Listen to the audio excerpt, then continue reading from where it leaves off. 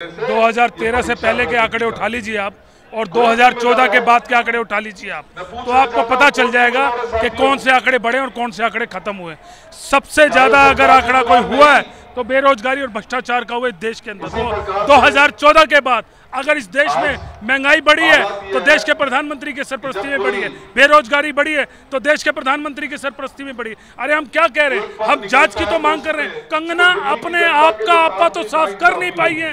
तो वो देश की जनता की बात और कांग्रेस की बात कैसे करेंगे? यार मुझे बताइए सांसद जीत गई सब कुछ हो गया। क्यों नहीं जा रही बलात्कार के लिए? क्यों नहीं बोल रही? महिलाओं के लिए क्यों नहीं बात कर रही? बेरोजगारी की क्यों नहीं बात कर रही? भ्रष्टाचार की बात क्यों नहीं कर रही? तो भाई वो सिर्फ़ कहते हैं ना डमरू बजाओ। तो कोई ना कोई नाचता है। वो डमरू बजा के सोच रही कि मंत्रालय मिल जाएगा। तो मंत्रालय नहीं मिलता उनको बता देना चाहता हूँ। वो जहाँ तक बैठी वहीं तक बैठी रहेंगी। जिस तरह से देश में बेरोजगारी और भ्रष्टाचार जिस तरह से फैल रहा है उसको लेकर यहाँ पे ये लोग प्रोटेस्ट कर रहे हैं सरकार के खिलाफ। भाई साहब हम इनसे जानने की कोशिश करूँगा। क्या लग रहा है सर सच में देश में बेरोजगारी और भ्रष्टाचार फैल रहा है? नहीं बढ़ा मैं आपसे पूछना चाहता हूँ आप चैनल में रहते हैं क्या? बेरोजगारी बढ़ी नहीं है महँगाई बढ़ी नहीं है? भ्रष्टाचार कहाँ से आपसे जानने की कोशिश कर रहा हूँ क्योंकि अठहत्तर साल इस देश को आज़ाद हुए हो गया है और एक दोनों पार्टियाँ कभी विपक्ष में रहती है कांग्रेस पार्टी तो कभी बीजेपी। और इन दोनों पार्टियों को बताइए क्या सच में आज इनको पता चल रहा है कि बेरोजगारी और भ्रष्टाचारी फैली है और हो रही है। 2013 से पहले के आंकड़े उठा लीजिए आप और 2014 के बाद के आंकड़े उठा लीजिए आप। तो आपको पता चल जाएगा कि कौन से आंकड़े बढ़े और कौन से आंकड़े खत्म हुए सबसे ज़्यादा अगर आंकड़ा कोई हुआ है तो बेरोजगारी और भ्रष्टाचार का हुआ देश के अंदर। दो तो 2014 के बाद अगर इस देश में महँगाई बढ़ी है तो देश के प्रधानमंत्री की सरपरस्ती में बढ़ी है। बेरोजगारी बढ़ी है तो देश के प्रधानमंत्री की सरपरस्ती में बढ़ी है। अरे हम क्या कह रहे हैं? हम जाँच की तो मांग कर रहे हैं। जाँच की मांग करने में इस देश की सरकार को। इस देश को दुनिया को लोगों को पता चला है कि एक भारत देश भी है जो लोकतांत्रिक है। ये इन्हीं के शासनकाल में मोदी जी के। क्यों आज से पहले क्या भारत नहीं था। आपने कंगना रावत का बयान नहीं सुना? कंगना रावत है कौन? क्या चीज़ है कंगना रावत? कंगना रावत अपना आप को सोचे उसके बाद इस देश की बात करे। अरे फ़िल्म बनाना। एक आम आम नागरिक है आप एक आम व्यक्ति हैं वो सांसद हैं। पार्लियामेंट सदस्य हैं। सांसद होने के बाद ये गरिमा गरिमा उनके शब्द बोलना अच्छे लगते हैं आपको? आपको लगते होंगे अच्छे मुझे तो नहीं अच्छे लगते। इस देश के लिए आप कांग्रेस के हैं इसलिए आपके अच्छे नहीं लगते होंगे। वो पहले किसकी थी? आज से पहले तो राजनीति का शौक नहीं था।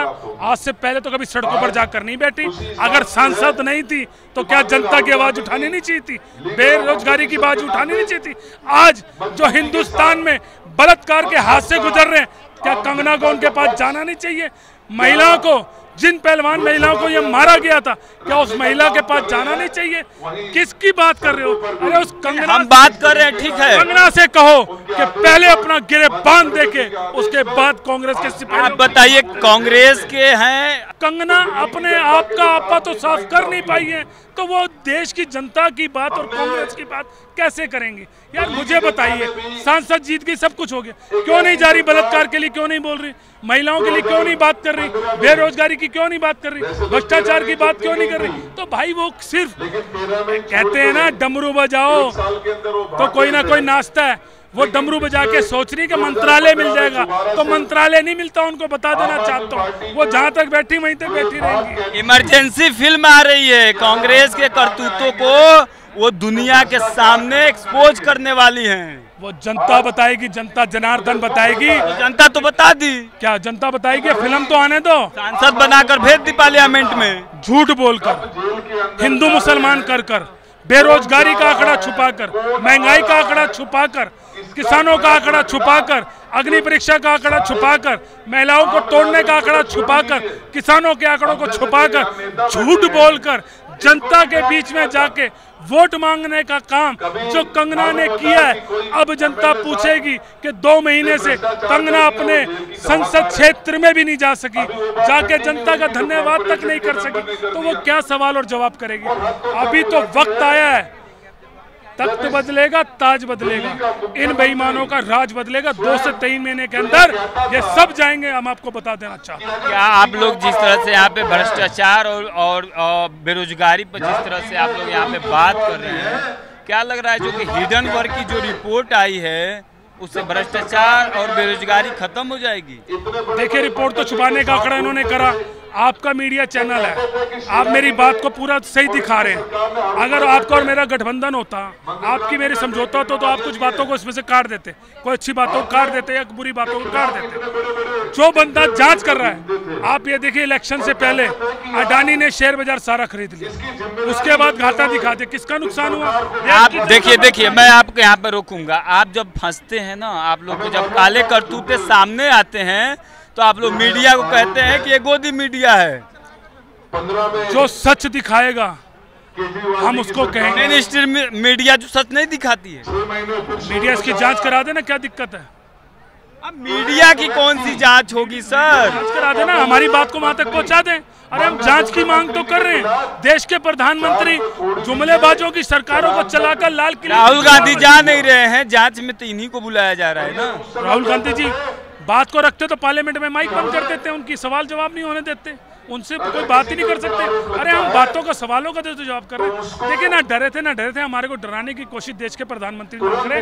हम महँगाई की बात, भ्रष्टाचार की बात, महिला सुरक्षा की बात, बलात्कारियों की बात, सबकी बात करेंगे और सरकार का अधिकार है कि वो जवाब देगा। हम विपक्ष के नेता हैं, विपक्ष की जनता देश की जनता सवाल और जवाब करेगी। अठहत्तर साल बाद देश की जनता जो कांग्रेस की बात सुनेगी और कांग्रेस अब लोगों, देश की जनता की आवाज़ उठाएगी। पचपन साल देश में शासन व्यवस्था चलाने के बाद देश की जनता बेरोजगारी, भ्रष्टाचारी नज़र नहीं आई थी लेकिन अब अठहत्तर साल बाद देश की जनता की आवाज़ उठाएगी कांग्रेस। आज़ादी से लेकर ना बता देना चाहता हूँ आपको, आज़ादी से लेकर आज तक जितना खून पसीना देश के लिए कांग्रेस पार्टी ने भाया है, एक भाजपा का नाम बता दो आज़ादी से लेकर। ये तो चिट्ठी देकर आए थे वाजपेयी साहब अंग्रेज़ों को। माफीनामा मांग कर आए थे। ये तो आरएसएस के लोग उनकी गोदी में बैठे थे। ये कांग्रेस के सिपाही थे ये देश के लोग थे जिन्होंने आज़ादी के लिए अपनी कुर्बानियाँ दी थी सड़कों पर। लेटे हुए थे बैठे थे डरे नहीं थे। तो ये वो लोग हैं भाई अब क्या बात करें इंडिया गठबंधन के एक जुझारू नेता अरविंद केजरीवाल जी अभी भी भ्रष्टाचार के लिप्त में जेल में है। क्या कहेंगे? उसी इंडिया गठबंधन की एक हिस्सा है कांग्रेस। देखिए जो गलत करेगा वो जेल में जाएगा। लग रहा है कि अरविंद केजरीवाल जी गलत हैं। जाँच जो जाँच का आदेश आएगा अगर जाँच उनको दोषी करार देती है तो वो जेल में जाएँगे। हम खिलाफ रहेंगे मुकदमे उनके साथ चल रहे हैं उन पर जो भी जो भी सुप्रीम कोर्ट का फैसला आएगा अगर उनको दोषी करार दिया जाता है। एक लास्ट क्वेश्चन आपसे मैं करूँगा जिस तरह से अभी आपने कन्हैया कुमार को देखा जिस तरह से मन से वो बोल रहे थे। कांग्रेस के बड़ा नेता हैं, वो कह रहे हैं कि भारतीय जनता पार्टी हिंदुत्व का एजेंडा लेकर आई कि भारत को हिंदू राष्ट्र बनाएँगे। लेकिन अब वो मोदी राष्ट्र, चाहे वो अडानी राष्ट्र की बात कर रहे थे, क्या लग रहा है कि जो कांग्रेस, जो काम बीजेपी छोड़ दिए उसको कांग्रेस पूरा करेगी? क्योंकि राम मंदिर का जो दरवाज़ा था, वो कांग्रेस खुलवाई थी। लग रहा है। कांग्रेस ने खुलवाया नहीं था? हाँ तो मैं तो कह रहा हूँ ना कि कांग्रेस ने खुलवाई थी। इनके अंदर राजीव गांधी जी जब ये मसला सामने आया था तो राजीव गांधी जी गए थे। दोनों समुदायों को साथ बिठाया था। मंदिर का ताला खोला था। वहाँ आरती करी थी और आरती आज तक वहाँ होती भी आ रही थी। लेकिन हम मंदिर बनाएँगे हम राम को लाएँ। ये राम को लाएँ। सवाल हमारा ये है कि जो कन्हैया कुमार मैं मुसलमान होकर मुझे जय श्री राम लगाने में कोई दिक्कत नहीं होती। मुझे जय श्री राम कहने में कोई दिक्कत नहीं। है मुझे जय हनुमान कहने में कोई दिक्कत नहीं। मुझे अली कहने में कोई दिक्कत नहीं। है मुझे सलाम करने में कोई दिक्कत नहीं। है मुझे वाहिगुरु बोलने में कोई दिक्कत नहीं। दिक्कत किसको? देश के प्रधानमंत्री को, बीजेपी के लोगों को। यही तो टिप्पणी दे रहे थे। इनके पार्लियामेंट में इन्हीं के नेताओं ने कहा था ना चलिए अब अठहत्तर साल बाद लोगों की आवाज़ उठाना देश की जनता का जो जिस तरह से बेरोजगारी भ्रष्टाचारी आवाज़ उठाना भी आप लोगों की दिक्कत नहीं होगी तो नेशनल दस्तक की आपसे गुजारिश है कि अगर इसको बचाना चाहते हैं तो नेशनल दस्तक को सब्सक्राइब करने के लिए रेड कलर के सब्सक्राइब बटन को दबाएँ फिर बेल आइकन की घंटी दबाएँ। नेशनल दस्तक को बचाने के लिए बहुत ज़रूरी है कि हर खबर को शेयर करें लाइक करें कमेंट ज़रूर करें।